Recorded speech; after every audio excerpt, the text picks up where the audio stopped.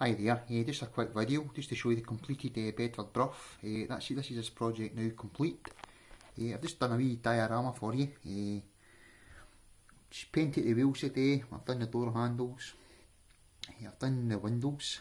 Uh, I've fitted the rail rail wheels uh, to the chassis. And obviously I've made some uh, lifting jacks with piping uh, ready to take into the uh, hydraulic cables. So uh, yeah, relatively pleased with this model. Uh, this is my first uh, kit bolt, uh, scratch bolt I should say, I've done, and it's it's look it's looking good. So that's me ready to work on my next project now. Uh, obviously I'm doing, as I said in my last video, I'm going to be doing an extension. I've already started to scratch build one of the depots uh, sheds and it's in Highland uh, Rail livery.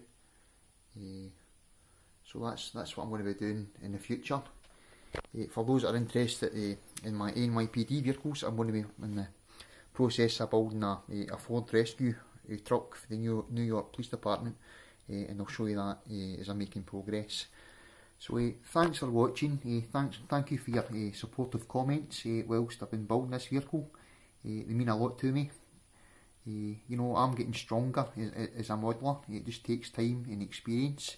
You know, when I first started this ho uh, hobby, I didn't have a lot of patience. I've certainly got a lot of patience now. Uh, you know, uh, and this goes to show with the, the, mod the model of uh, about here in front of us. So thanks again, take care and I'll speak to you soon. Okay, bye bye, bye bye.